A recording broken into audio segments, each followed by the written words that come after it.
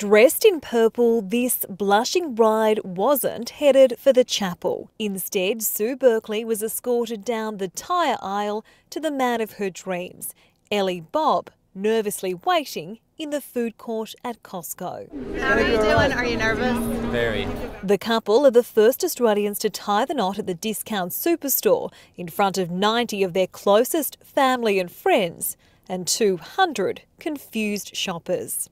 While it may not be every bride's dream for the pair who frequently stroll hand in hand through the Sydney store seeking out bargains, it was the perfect place to say I do.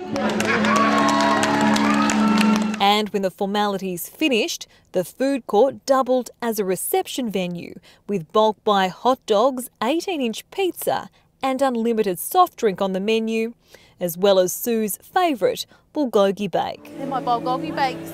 Bulgogi bake. That's what I've been waiting for. For those sniggering at the couple's decision to wed here, you can't laugh at the cost. The catering is just $10 a head.